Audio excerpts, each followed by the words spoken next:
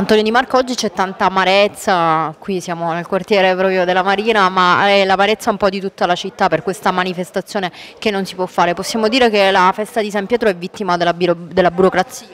Sì, quest'anno è successo proprio questo, perché nonostante le istanze per realizzare la manifestazione siano state presentate addirittura con due settimane di anticipo rispetto a quando l'avevamo presentata l'anno scorso, che è stata una manifestazione autorizzata, riuscita, tutto quanto, quest'anno si è verificato un problema con la concessione delle aree demaniali.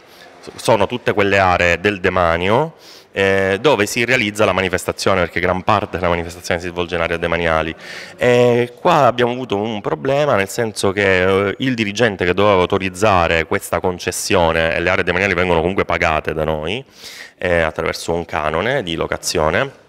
questa, eh, questo dirigente, eh, che è un dirigente nuovo, ci ha detto che mh, agiva, interpretava la norma delle concessioni in maniera diversa, quindi secondo lei andava applicato non l'articolo 30 del codice della navigazione, quello che regolamenta le concessioni di natura breve, eh, ma eh, secondo il 351 o l'86 del 2021, che è una disciplina che regolamenta sia le autorizzazioni di natura breve, ma quelle onerose e commerciali. Noi abbiamo fatto rilevare che questa non era una concessione onerosa o commerciale e comunque il decreto 86 sancisce che le feste patronali, le manifestazioni religiose, le manifestazioni sportive, proprio per la loro natura, ehm, rientrano nelle cause di esclusione e applicazione di questo decreto. Purtroppo queste ragioni non hanno visto un accoglimento e quindi l'iter è andato avanti secondo la prassi del 351 che è più lunga, più corposa e questo ha portato al fatto che poi alla fine l'autorizzazione non è arrivata e se fosse arrivata sarebbe arrivata in estremo ritardo per riuscire a mettere in piedi un'organizzazione che è importante perché come dicevi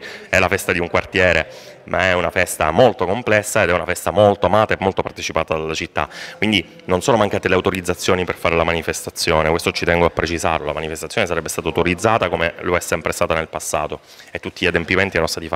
È mancata la concessione dell'area demaniale, che è una cosa importantissima perché è l'autorizzazione del demanio della regione siciliana a entrare nelle aree a poterle utilizzare. Sarà una manifestazione in sordina, quella di quest'anno, ci sarà solamente l'evento religioso, il Luna Park spostato in un'area privata. Esattamente, ci saranno tutte le celebrazioni religiose che culmineranno il 29 giugno con la tradizionale processione, eh, tutte le attività religiose sono organizzate dalla, dalla, parrocchia che fa un lavoro bellissimo nel quartiere che ci ha sempre sostenuto come questo anno eh, e le giostre, il Luna Park è stato montato in forma del tutto autonoma e privata da, dagli esercenti eh, in un'area privata vicino allo stazzone. Ci tengo a precisare che eh, di tutta questa organizzazione organizzazione, cioè l'amarezza e il, il disappunto lo condivido con tutte le cooperative, con il comitato organizzatore della festa di San Pietro, con tutti quegli attori che fanno parte dell'organizzazione della festa e che no, come noi hanno lottato tutti i giorni per cercare che non si verificasse quello che poi